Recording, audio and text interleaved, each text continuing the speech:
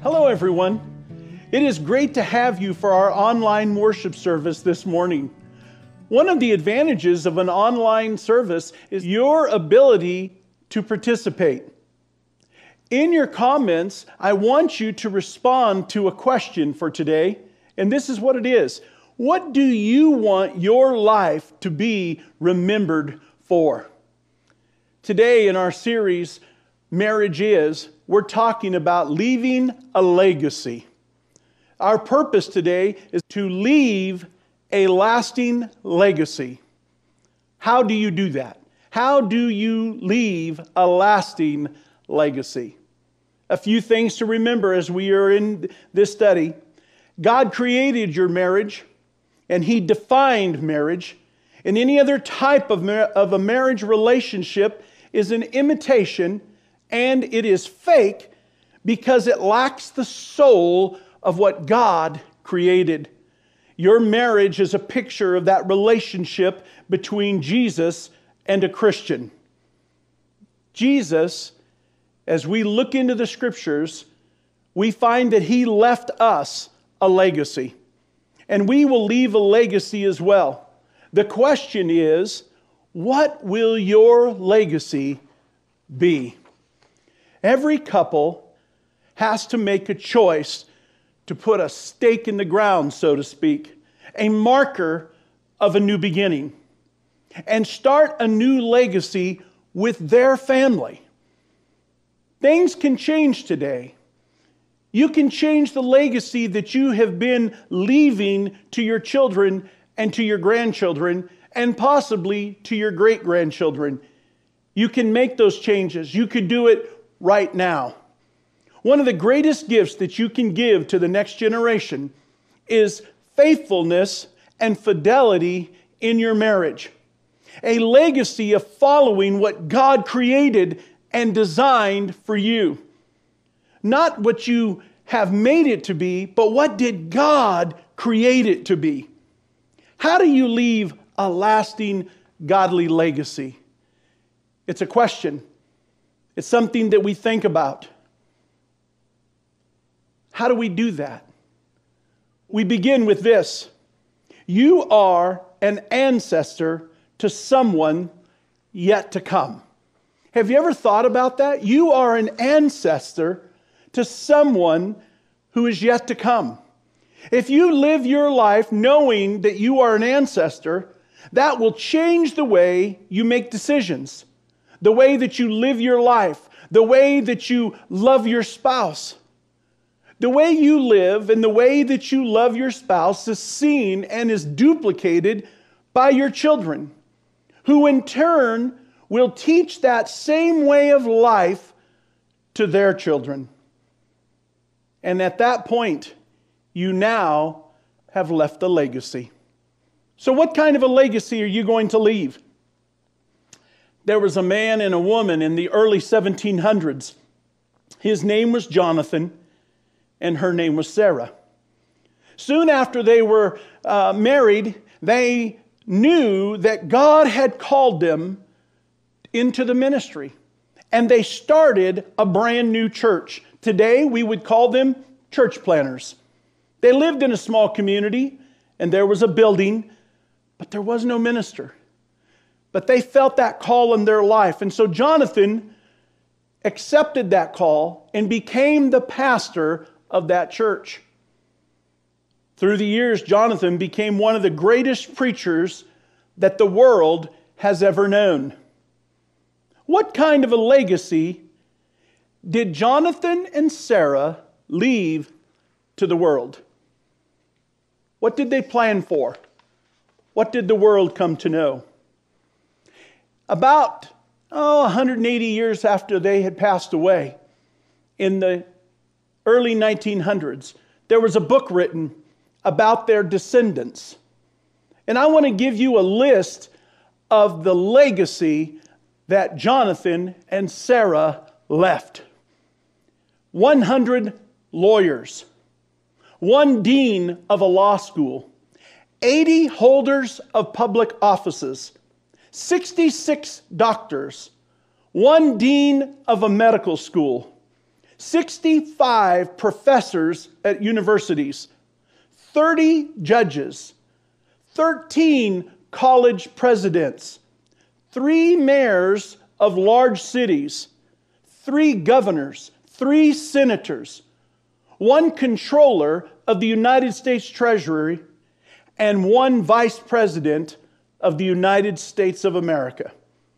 And that was in the first 200 years. What a legacy! A legacy that anyone would look at and just go, wow, how did that happen? What made that a possibility? Stephen Lawson wrote, Every person leaves a lasting influence that will affect future generations for centuries to come. But not all legacies are the same. What kind of a legacy will you leave behind? A spiritual legacy? That's one that money can't buy and taxes can't take away. A spiritual legacy is passing down to the next generation what matters most. Again, what kind of a legacy will you leave behind? I'm reminded of a story. These two brothers, they were horrible men. They were, they were evil. But they went to this church in their town, and, and everyone thought that they were just great Christian men, except for the one that they interacted with so often, who was the pastor of the church. And he saw through their facade. Well, as happens to each one of us, one of the brothers passed away. And the other brother, the one that's still alive, he came up to the pastor and he gave the pastor a big check for the church. And he said, There's only one catch to it. You have to say at my brother's funeral that he was a saint. Well, the pastor agreed, and he immediately had that check deposited right away. A few days later, as the funeral began, the pastor started the, the message and he said, This man was an evil man. He cheated on his wife, he abused his children, he lied to all of you that are here. He stole from his employees. He cheated on his taxes. But compared to his brother, he was a saint. What kind of a legacy will you leave behind? Is there going to be somebody who has to try and bribe the minister to say good things? What will the quotations be at your funeral service? I want to give you today five essentials for leaving a godly legacy that will last for generations. I want you to know how to leave a legacy. And I want you to know what should be the priorities in your legacy. Your marriage is important to God. Your marriage is set in a way that you should leave a legacy to your children's children's children. So let's begin with these five. The first one is fear the Lord and obey him. Your legacy begins in your heart, in your relationship with God. That's where the legacy begins. How you live your life, how you treat your wife, how you relate to your children. This all begins in the heart. In the 112th Psalm, beginning in verse 1, the author wrote, Praise the Lord. Blessed are those who fear the Lord and who find great delight in his commands, and their children will be mighty in the land. The generation of the upright will be blessed. Leave a legacy that comes from the heart. That's number one. Here's number two recognize the world's need and respond with compassion and action. Did you catch that? Recognize the world's need and respond with compassion and action. Leave a legacy by com- being committed to doing something about our world. Leave a legacy and recognize it. Don't just leave it hanging there and just sitting there with, with no one knowing what in the world was going on or who you were, and that it has no effect on anyone around you. In the book of Matthew and in chapter 9, Matthew's writing and he says this in verses 36 through 38. And when he saw the crowd, speaking of Jesus, he had compassion on them because they were harassed and helpless like sheep without a shepherd. And then he said to his disciples, The harvest is plentiful, but the workers are few. Ask the Lord, the Lord of the harvest, and therefore to send out workers into the harvest field. Show people the love of Jesus, especially in your community, and you will leave a legacy that people will know about for generations. Know it, be a part of it. Don't just see the need and then do nothing about it. Leave a legacy of action and compassion. Here's number three pray as a couple that God will use you to accomplish His purposes. Pray as a couple that God will use you to accomplish His purposes. All the way back in the, in the Old Testament, in a book called the First Chronicles, and in chapter 4, just one verse, it's called the prayer of Jabez. And Jabez cried out to the God of Israel, Oh, that you would bless me and enlarge my territory. Let your hand be with me and keep me from the harm from evil, so that I will be free from the pain of evil. And God granted his request. What was it that Jabez was asking for? He was asking that God would bless him that God would give him more wealth and influence, and that God would keep him from the pain of temptation and evil. And what was God's response to this? Yes. Why? Because Jabez was trying to make a change in the legacy that he was going to be leaving. And he was seeking God's help and seeking God's wisdom. So God answered yes. As a couple, pray this prayer regularly and see what God does in your lives. Ask God to bless your marriage. Ask God to bless you so that you are free from temptation and, and that you, you are not suffering the pain of evil that goes on around you. There's a book written called The Prayer of Jabez. I recommend that you look this up, find this book, purchase this book and as a couple, read it together and see what God does. Here's our next one help your spouse be a better steward of their gifts and abilities. Help your spouse be a better steward of their gifts and abilities. In other words, do things like help them get plugged in to your local church Help them recognize their convictions for, for what they are. They are God calling them in their lives to His service. A gentleman by the name of Thomas Carlyle said this Conviction is worthless until it can convert itself into conduct. Conviction is worthless until it can convert itself into conduct. Help your mate determine what they can live for. What is the purpose that, that they have in their lives? What lights their fire and, and how they can express that into their community, into their families, into their children, and so on. How do they do that? Give them that opportunity, that encouragement. Help them see it and know it. And finally, number five, ask God to give your children a sense of purpose direction, and mission. Now, listen, next week we're going to talk about children. And specifically, our purpose for next week is about how to instill into your children purpose for life. Purpose for life.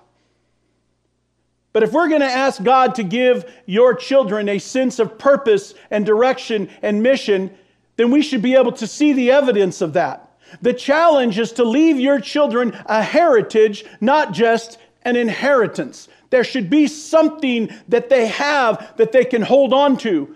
Our children are the living message that we send to a time that we will not see. They're going to carry this on. What type of a person are you is going to be carried on well after you have passed away. So don't leave your children with large amounts of money. It will likely hurt them more than it'll do them good. Leave your children a spiritual heritage something that they can fall back on, something that they can cling to, something that will point them in the way forward. David Livingstone, a very famous missionary to Africa years ago, said, I will go anywhere as long as it is forward. As long as it is forward. You want to know when our children run into problems? When they stagnate when they have no reason to move forward. They can't see a reason to move forward. There's nothing in their heart, there's nothing in their soul. They don't cling to God, they don't cling to, to anything. They, they have no reason for uh, uh, compassion, they have no reason in them or purpose within them to reach out to their neighbors, to their loved ones. They're just kind of blah. What does that do to their souls? What does it do to them? What does that pass on? A real godly legacy can only come from a marriage that has been centered and planned on for obedience to the example that Jesus himself lived out. A real godly legacy. What is your legacy saying today? What do you observe? Sometimes it's difficult to see. Sometimes we don't know which way to look. We're trying to push our children and push our children. Sometimes we find ourselves so disappointed in our grandchildren. Where did they get that from? A legacy. Our purpose today to leave a lasting legacy.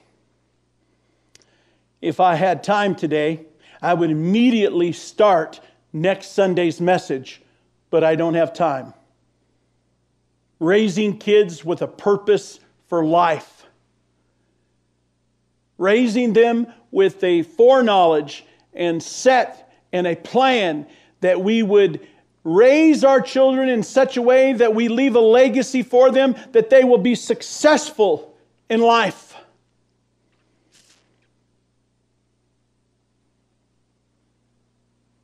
To leave a legacy. What does your legacy say? Now, some of you here, your, your parents did not do a good job. Some of you that are listening today, home life was not good growing up. There were problems. And so you're thinking to yourself, well, then they left a legacy to me and I'm passing on that legacy. And that is true to a certain point. But here's the great thing about Jesus He's all about new beginnings. I started this message off today telling you that you could do, uh, uh, uh, that you could manage a change and that you could start a new beginning to leave a legacy. And that's the great thing about God. You don't have to wait. You can do it right now. You can start today. You just have to sit down as a couple and begin to pray and to look and to seek God out. Buy that book, The Prayer of Jabez. and begin to study and to look and to see how do we pray together, make a plan together that our children's children's children may know that they inherited from us. God bless you. Hey everyone, thank you so much for joining us at our online worship service today. I'm going to pray for us in just a bit, but if you're ready to take the next step today, if you want to leave a legacy, uh, you can leave a comment. Our staff is standing by to monitor those comments and uh, be able to answer questions you might have. Uh, or if you'd like something a little more personal, if you want to send a text message, if you want to do a phone call, if you want to even do a video chat, we could set that up. Or if you're daring enough, we could even do a face to face meeting. Uh, but call or text us at this number 541 316 8991, and we'll have people monitoring that number as well. I want to talk to you about worship through giving. Uh, thank you so much to those of you who have set up online profiles through our website to set up recurring gifts. We really appreciate that. It makes our ministry assistant's life way easier. If you want to set that up, message us at the number, or also you can just go to our website, baptistchurchonhomedale.org, and go to the Give tab and set that up. You can also just text us we'd be able to set you up with directions there as well. Several of you have also just driven by our building to drop off your tithes and offerings, so really appreciate that as well, and you can do that during office hours. You know, we might not be able to meet in person right now, but that does not change our mission of our church, sharing Christ and building believers. And it doesn't change uh, that we want to still be ministering to our community. So your mission uh, or our mission is still being supported through your generous gifts. So thank you so much. You know, there's several families not going out of their houses. I've seen uh, people on our ministerial staff running errands for people, uh, doing firewood and groceries. Uh, so if you have a need or know someone has a need like that, please let us know. Uh, we've doing we've been doing crafts still with kids and even delivering some of those crafts. So if you need that, uh, please let us know as well. Our church is also supporting missions still. And so we've got the gospel mission in town. We support them. So if you give to us, part of that definitely goes to the gospel mission, getting people fed as well. Also, we're doing some development with our online content and our virtual small groups. Uh, so thank you so much for those of you who are able to give. You know, Romans tells us that we're one body and we're members of one another. And so we want to be taking care of one another. So if you know someone in need, uh, please contact us at this number and let us know. Let's go ahead and close today's worship in prayer together. God, thank you so much for everyone who was able to join us online today. And they gave up part of their time. They could have just been binging TV and other content all day, and instead, they made time and space in their household and their families uh, for you and what you want to do in their lives. So, as they've honored you at that time, Lord, we ask that uh, you would also be faithful to them and show up in our lives in a powerful way. God, help us with every decision that we are uh, making a representation of what could be happening in the future to our uh, our descendants, people who are going to come after us. And we want to live an upright life and set a good example for them. So help us to do that, especially during uh, this difficult time. This is something that maybe even our grandkids will ask us about uh, that we lived in such a unique time and what was it like. Lord, thank you so much for the tithes and offerings, people who are setting up online accounts and profiles uh, through our website and uh, we want to be able to effectively use those funds for your mission and needs that you see in our community as well. I ask all this in your name. Amen. Thank you so much again. God bless you.